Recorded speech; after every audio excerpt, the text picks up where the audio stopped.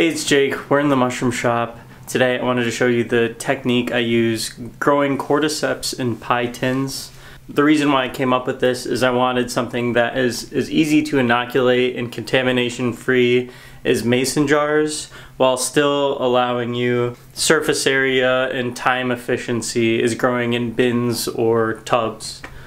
Um, so everything I'm going to go over um, I'm going to go over the substrate recipe, super simple, how long to cook, the inoculation method, fruiting, incubation, um, also preparing the liquid culture. So I'm just going to show you a video of me going through the whole process and talk about exactly what I'm doing as I go along. The first thing you want to do in this process is get your liquid culture expanded.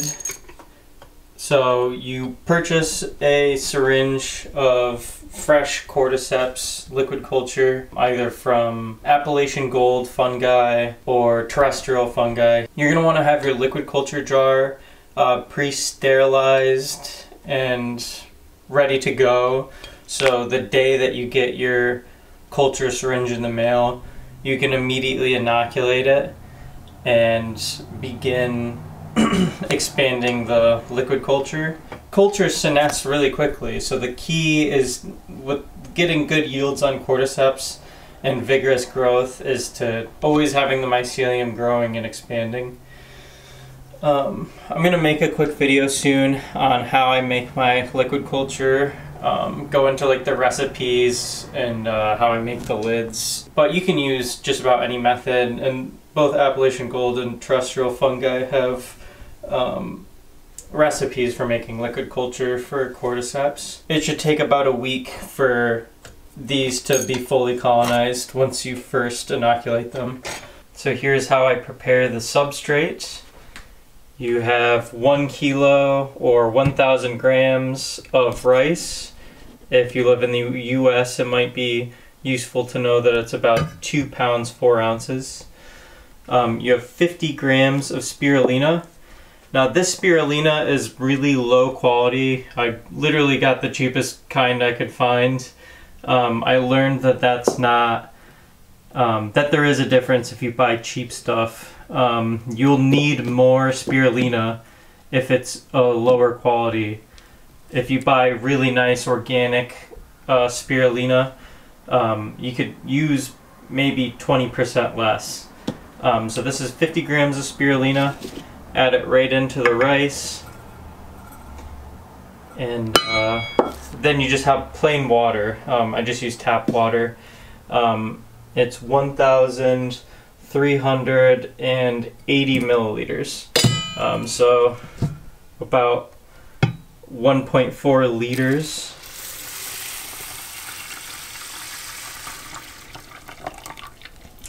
and I'm just going to be cooking this in this really cheap rice cooker. Um, it's nice to use a rice cooker because it's um, it doesn't burn the rice quite as often.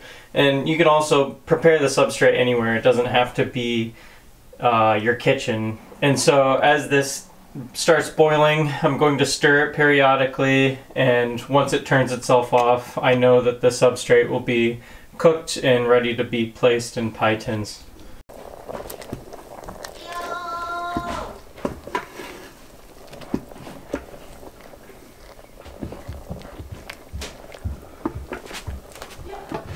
Okay, so the substrate is done cooking now. Uh, I'm to remove the lid. By the way, keep the lid on most of the time it's cooking and just take it off when you're stirring. Um, but it's stirred up really well now. This is enough substrate for three pie tins. So each pie tin gets um, 720 grams uh, or one pound 10 ounces of the cooked substrate. The pie tins that I'm using are 11 inches in diameter and they're about one and a half inches deep. Um, I thought pie tins were a nice vessel to use because they're cheap. They're only about a dollar a piece. They're lightweight and they're reusable. Um, and of course the shape fits well in the pressure cooker. So when you're packing in the spirulina rice into these pie tins, don't be afraid to really press it down flat. The cordyceps has no issue with um, colonizing super dense substrates. It doesn't need to be light and airy or anything. I really pack it down flat and even as possible. And then the next step, I place these pizza stacks right in the middle. And so you can stack these up high in the pressure cooker and the the bag that you place this whole tin inside of, the bag won't rest on the um, rice as much and stick to the rice. Um, the bottom ones in the pressure cooker don't always stand up to the weight and they might buckle once it gets really hot in there. But by then they will have done their job. There won't be as bad as an issue anyways. The bag that I'm going to be placing the pie tins in is a 3T unicorn bag. It's the 0.2 micron filter. I folded the top gussets really nicely and then tucked them underneath and it will go into the pressure cooker just like that. Now I have the pressure cooker loaded up with pie tins. Um, you can fit about six of them in here, which works out pretty well because it's two batches of the rice cooker. So now that I have them all loaded up, I'm going to pressure cook them at 15 psi for 90 minutes and then I'm going to let them cool in front of my flow hood overnight and I'll inoculate them tomorrow. Okay, so it's um, morning now. I uh, let the pressure cooker uh, cool in front of the flow hood overnight, uh, right behind me there. Um, what I'm going to do is take out each of the pie tins. Um, I'm going to open up the bags a little bit um, so there's um, sort of an air gap between the top of the bag and the top of the substrate and then I'm going to seal them with my heat sealer.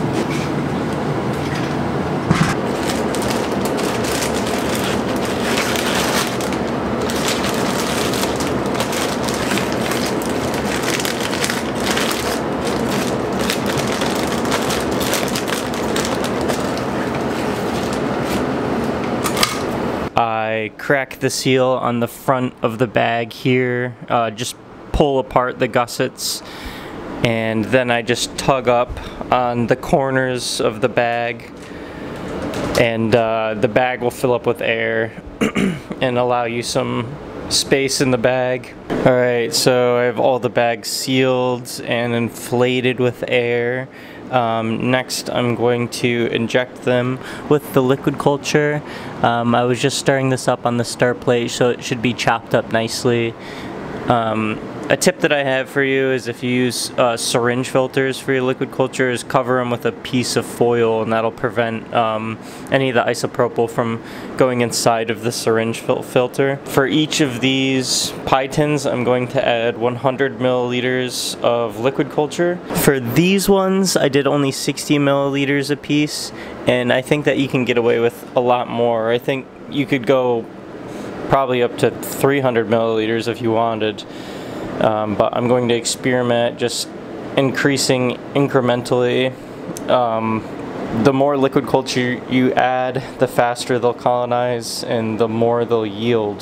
So what I'm going to do is I'm going to take an alcohol soaked uh, paper towel, um, uh, sterilize a small spot in the middle of the bag, and then try to spray evenly across the surface um, of the substrate, um, all the liquid culture, and uh, yeah, just try to hit everywhere so the mycelium doesn't have to travel far and it will colonize quickly.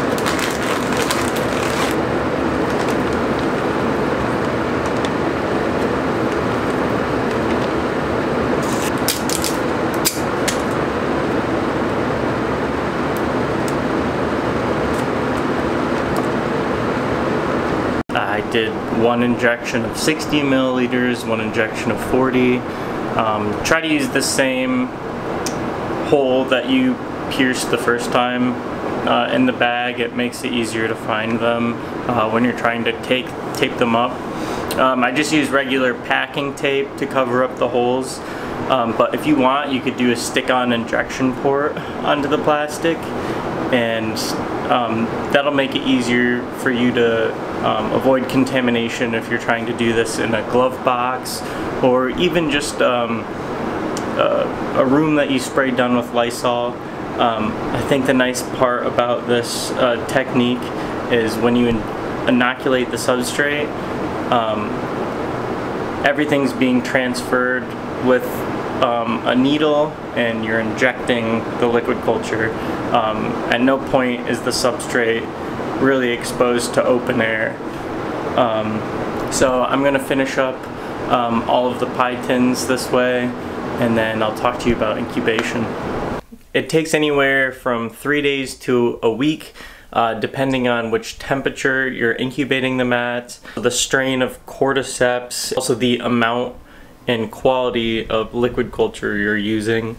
I'm going to incubate them in total darkness and keep the temperature around 75 degrees. Um, you can keep the temperature anywhere from 70 to 75. It's really important to not introduce any light while they're incubating. They should be, the mycelium should be totally white and not orange at all. And once you see your um, substrate has been fully colonized, then you can go ahead and put it in fruiting conditions. For fruiting conditions, um, temperature I think is the most important thing. Um, if you don't think you'd be able to maintain a temperature from 60 to 63 degrees, I wouldn't recommend even trying growing cordyceps. Um, if you, you can grow cordyceps in the 50s, um, but it could take up to two times longer uh, for the cordyceps to grow from start to finish. So instead of two months, you're looking at four months or even more. Um, I have firsthand experience with this because I tried to grow them at um, 55 degrees and it took four months. Um, and if you grow them warmer than like the low 60s, then the mycelium starts growing uh, really cottony and strangely, and you get really small yields. The fruit bodies stop growing um, once they're really small. Um, so temperature is super important. You need to figure out how you're going to keep the environment in the low 60s the entire time. Keeping them under lights. Um, you want them to get about 12 hours of light and 12 hours of darkness each day. Um, this is what gives them a nice bright orange color and it tells them it's time to start fruiting. The light doesn't need to be super strong. I use um, cheap LED lights on a, um, on a timer and uh, I've seen people use like Christmas lights and other things um, so you don't have to go overboard. It's not like the the intensity of a light you'd need for a, house plant for example. So after you've incubated them and put them in fruiting conditions for a while, you should have something that looks like this. Um, the cordyceps are growing all over the surface of the substrates. Um, over by where the filter patch is, there's a little bald spot, um, just because it's too dry over there probably. Um, I was thinking of experimenting with taping off a piece of this filter patch. Um, maybe they don't need quite as much air exchange, I'm not sure though. Um, but these have been growing for one month, um, just under 30 days. And uh, so these should be continuing to lengthen and grow over the next month. That's all we have for you today. Um, if you don't follow the Mushroom Shop on YouTube, go ahead and subscribe. That way you get a notification whenever we put out a new video. Um, you can also follow us on Facebook and Instagram at the Mushroom Shop LLC.